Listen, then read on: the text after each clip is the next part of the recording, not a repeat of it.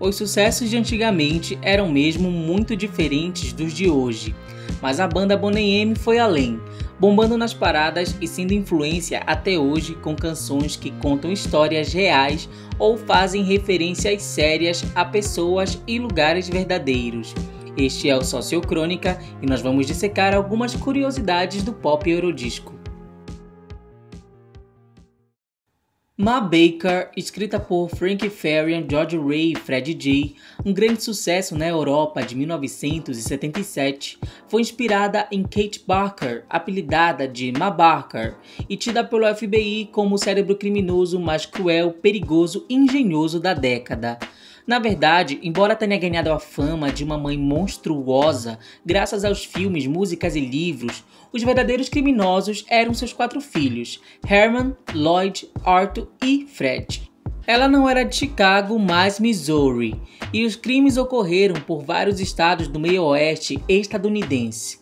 Como dito na música, ela abandonou o primeiro marido, George Barker, por achá-lo mole demais Assim que seus filhos cresceram, se mostraram bastante problemáticos, saindo e entrando em prisões e reformatórios, às vezes por assassinar a sangue frio oficiais da polícia.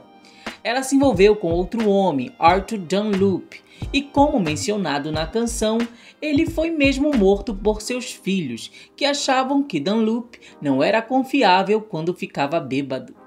Assim, enquanto viveram, a gangue de Mabarker causou problemas por quase três décadas, roubando bancos e sequestrando ricos empresários. Porém, Herman, o filho mais velho, se suicidou aos 33 anos para evitar um processo após atropelar uma criança. Já Arthur morreu em 1939, numa tentativa fracassada de fuga da prisão de Alcatraz. Lloyd chegou a sobreviver a todos, mas foi assassinado pela própria esposa em 1949. Já Mabarker e o caçula Fred foram emboscados numa casa na Flórida em 1935 e mortos no tiroteio mais longo daquela época. O corpo de Fred foi encontrado crivado de tiros, mas o da mãe possuía um único ferimento de bala. Curiosamente, relatos posteriores afirmam que Ma Barker nunca foi responsável por nada e sua imagem foi criada para que sua morte não comovesse a população, já que ela era uma mulher de idade. Segundo o notório ladrão Harvey Bailey, que conhecia a família, Ma Barker não conseguia planejar nem seu café da manhã, muito menos uma empresa criminosa. A verdadeiramente por trás dos crimes era o policial Thomas Big Tom Brown, que os organizava e acobertava com seu sistema corrupto local. A mulher com certeza sabia o que seus filhos e amantes faziam e devia ajudar, mas era usada somente como disfarce para alugar imóveis e enviada ao cinema quando eles cometiam seus crimes. Alvin Carps, um dos membros da gangue, chegou a dizer que Ma era só uma caseira antiquada e caipira, supersticiosa, crédula, simples, rabugenta e até respeitadora da lei.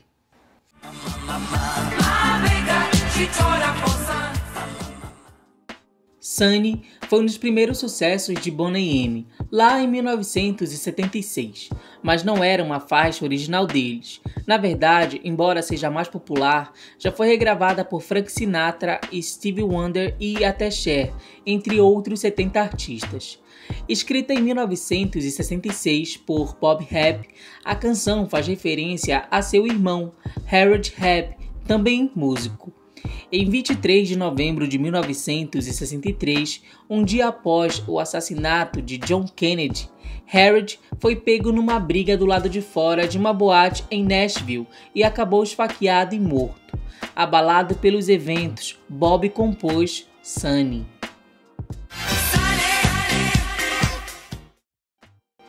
Todas as minhas intenções eram pensar em tempos melhores e homenagear meu irmão, procurando por um dia feliz, porque a maré estava baixa, contou.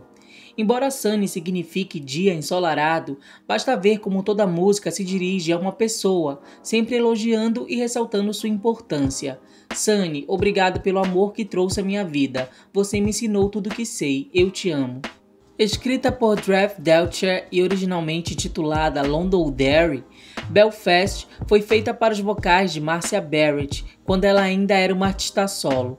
Lançada com Boney M em 1977, alcançou a oitava posição no chart do Reino Unido e o quarto lugar nas paradas alemãs, se tornando a queridinha das apresentações ao vivo.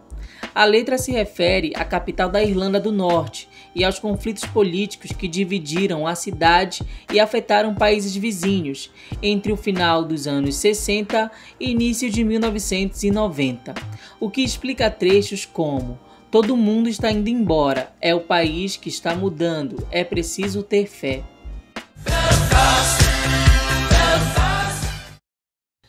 Isso porque esse período também foi tocado por questões religiosas, uma vez que protestantes e católicos pareciam estar de lados opostos, e o conflito começou durante uma campanha para acabar com a discriminação contra a minoria católica.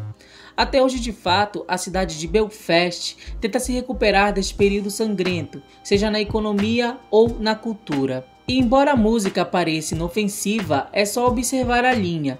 Quando o país toca o sino de recolher, significa que você está perdido.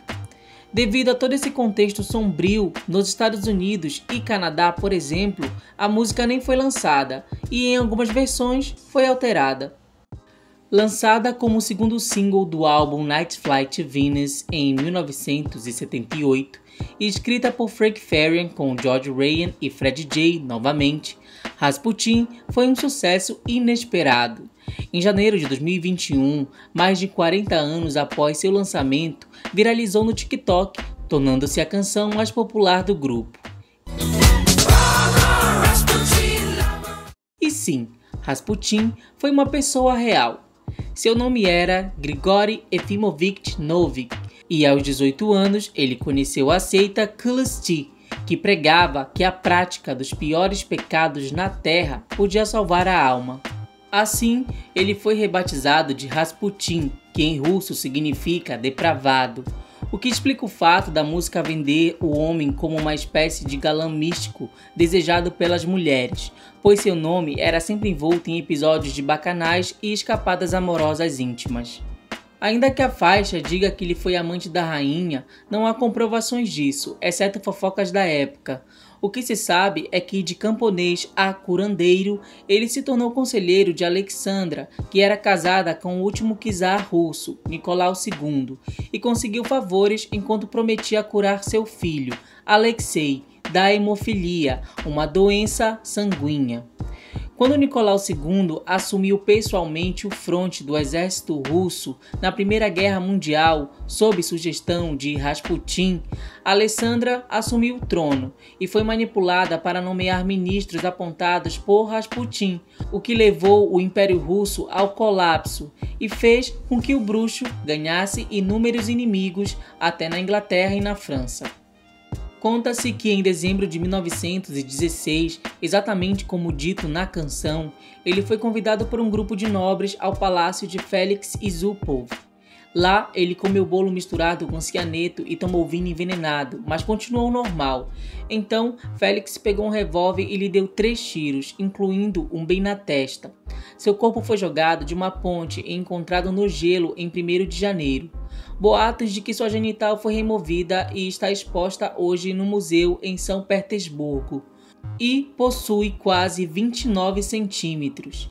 Em uma divertida referência a isso, Boney M cantou para todo mundo ouvir, a maior máquina de amor da Rússia. Se você chegou até aqui, curta e se inscreva. E se é fã desta icônica banda, comente aí embaixo se gostaria de mais curiosidades sobre outras faixas.